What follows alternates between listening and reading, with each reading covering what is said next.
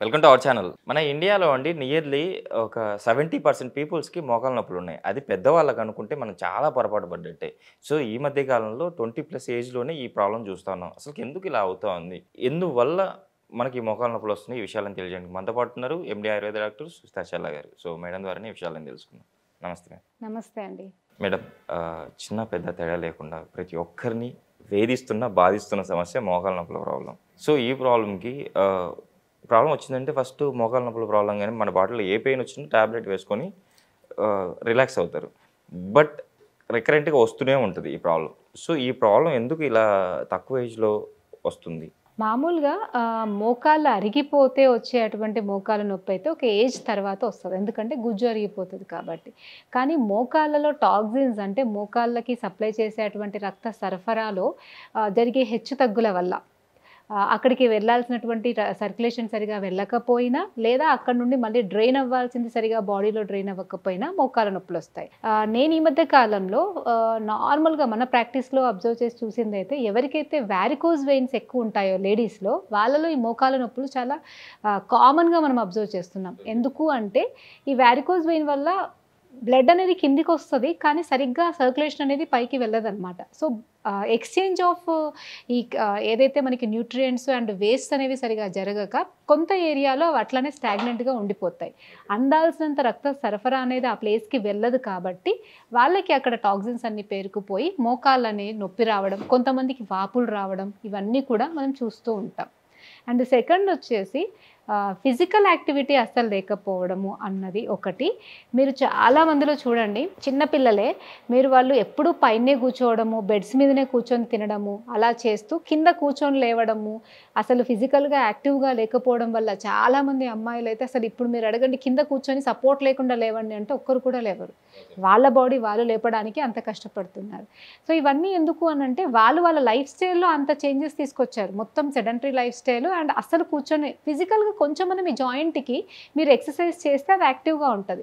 అందుకే ఇప్పుడు చాలామంది సాఫ్ట్వేర్కి వెళ్ళే వాళ్ళు ఎక్కువగా చెప్తుంటారు ఎందుకు అంటే వాళ్ళు సెడెంటరీగా అట్లనే కూర్చొని ఉంటారు కాబట్టి even twenty eight thirty years వాళ్ళు కూడా ఒక యాంగిల్లో మా మోకాలు వంచితే నొప్పి వస్తుందండి మెట్లు ఎక్కితే నొప్పి వస్తుందండి లేకపోతే నడుస్తున్నప్పుడు సౌండ్ వస్తున్నాయని చెప్తున్నారు. ఎందుకు అని అంటే రెండే రెండు కారణాలు. ఒకటి వాళ్ళకి లైఫ్ స్టైల్ అనేది సరిగా లేకుండా ఫిజికల్గా అస్సలు యాక్టివ్గా లేకపోవడం వల్ల జాయింట్స్కి అందాల్సిన సరఫరా అందదు. ఎప్పుడైనా మన బాడీ మంచిగా తినాలి కరెక్ట్గా వ్యాయామం చేయాలి అప్పుడే బాడీ అనేది స్ట్రాంగ్గా అవుతుంది అనమాట సో తినడం అనేది తింటున్నారు కానీ అందించాల్సినంత ఫిజికల్ యాక్టివిటీ అందించకపోవడం వల్ల జాయింట్స్ కూడా చాలా వీక్ అవుతున్నాయి.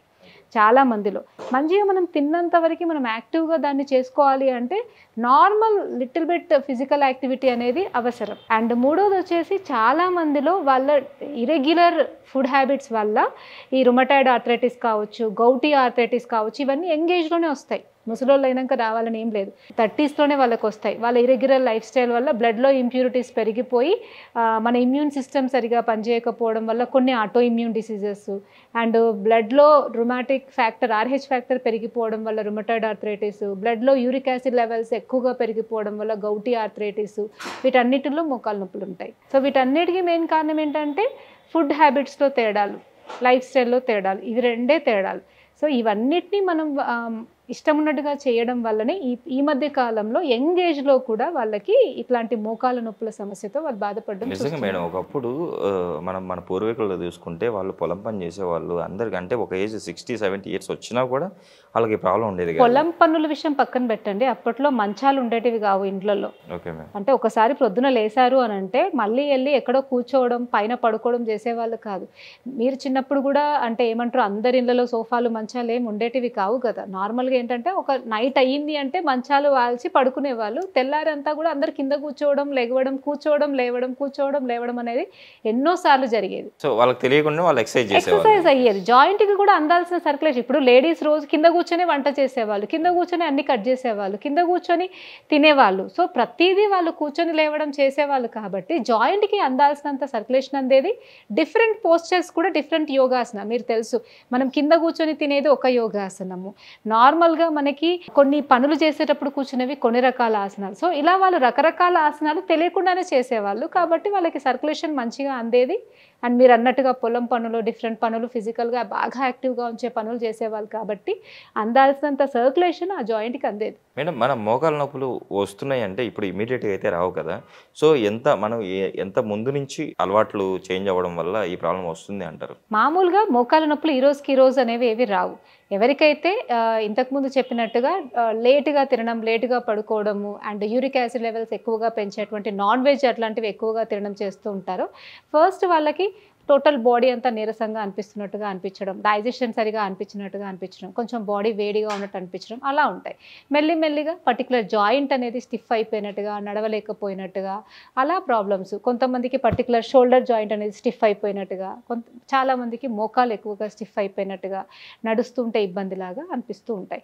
అదే స్లో స్లోగా వాపు రావడం అసలు నడవడానికి కూడా చాలా ఇబ్బందికరమైన పరిస్థితి రావడం అనే స్టేజ్ దాకా కూడా వెళ్తాయి. మేడం ఇప్పుడు మోకాల నొప్పుల ప్రాబ్లం ఉన్న వాళ్ళకి కొంతమందికి సజెస్ట్ చేస్తారు డాక్టర్స్ అంటే అలోపతి డాక్టర్స్ వచ్చేసి కంపల్సరీ ఆపరేషన్ చేయాలి అని చెప్పేసి అంటారు. బట్ ఆయుర్వేదంలో కాకుండా కొన్ని మన మూలిక వైద్యంలో బయట నార్మల్ కొన్ని రెమెడీస్తో కూడా మన ఏదైతే మనకు ప్రాబ్లం ఉందో ఆ ప్రాబ్లం నుంచి మనం బయటపడవచ్చు ఇంటికి కూడా ఆయుర్వేద మెడిసిన్ తీసుకుంటూ ఇది చేస్తే కనుక పర్ఫెక్ట్గా వితౌట్ ఆపరేషన్ మనం ఈ ప్రాబ్లం నుంచి బయటపడవచ్చు అంటారు కదా అవి కూడా మన ప్రేక్షకుల కోసం తెలియజేయండి. మామూలుగా అయితే సర్జరీ అనేది మోకాలలో గుజ్జు అరిగిపోయినప్పుడు సో ఏజ్డ్ వాళ్ళకి మనకి శస్త్రచికిత్స ద్వారా మనము నీ జాయింట్ అనేది చేంజ్ చేయాలి అంటే అడ్వైస్ చేస్తారు.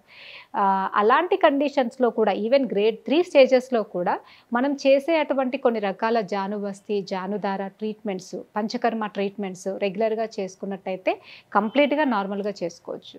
ఇంట్లోనే చేసుకునేటువంటి చిట్కాలు అని అంటే డిసీజ్ అనేది చాలా అడ్వాన్స్డ్ వెళ్ళి థర్డ్ స్టేజ్ ఫోర్త్ స్టేజ్లో ఉన్నప్పుడు మనం ఇంట్లోనే చేసుకునే వాటి వల్ల అయితే మోకాళ్ళ న- గుజ్జు అనేది కంప్లీట్గా రాదు.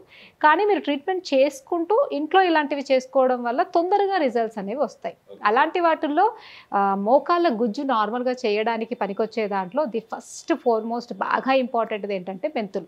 ఓకే సో మెంతులు జీలకర్ర మిరియాలు. సో మెంతులు ఒక హండ్రెడ్ గ్రామ్స్ జీలకర్ర ఒక ఫిఫ్టీ గ్రామ్స్ మిరియాలు ఒక ఫైవ్ గ్రామ్స్. వీటన్నిటిని కూడా లైట్గా వేయించేసి పౌడర్ చేసి పెట్టుకొని రోజు ఎర్లీ మార్నింగ్ ఒక టూ టు ఫోర్ గ్రామ్స్ వాళ్ళ వాళ్ళ డైజెషన్ కెపాసిటీని బట్టి మోస్ట్లీ మనమైతే ఫోర్ గ్రామ్స్ తీసుకోమంటాం.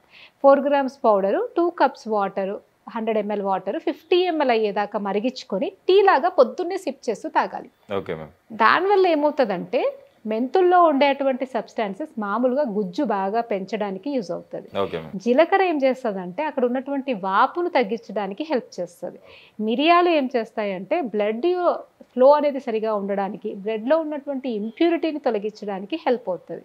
సో దీన్ని మీరు క్రమబద్ధంగా ఒక మెడిసిన్ లాగా అనుకొని ఒక త్రీ మంత్స్ పాటు రెగ్యులర్గా తాగుతూ చిన్నపాటి మోకాలికి సంబంధించిన ఎక్సర్సైజ్ చేసుకోవాలి. చేసుకున్నట్టయితే సర్జరీ అవసరం లేకుండానే మోకాలని కంప్లీట్గా నార్మల్ చేసుకోవచ్చు. నిజంగా మేడం ఈరోజు మన ప్రేక్షకులందరికీ చాలా చక్కటి విషయాన్ని అయితే తెలియజేశారు. ఆ మోకాల నొప్పుల ప్రాబ్లం ఉన్న వాళ్ళు అసలు ఎందుకు వస్తూ ఉంది ఈ ప్రాబ్లము? ఈ ప్రాబ్లం వచ్చిన వాళ్ళు మన ఇంట్లో దొరికే ఈ మూట ఇంగ్రీడియంట్స్తో మోకాల నొప్పుల ప్రాబ్లం నుంచి ఎలా బయటపడవచ్చు అంటే దీంతో పాటు ఎక్కువ ప్రాబ్లం ఉండి ఆపరేషన్ చేయించుకోవాలనుకున్న వాళ్ళు వితౌట్ ఆపరేషన్ ఆయుర్వేదంలో ఎలాంటి ట్రీట్మెంట్లు ఉన్నాయి? చాలా చక్కగా వివరించారు madam. Thank you thank you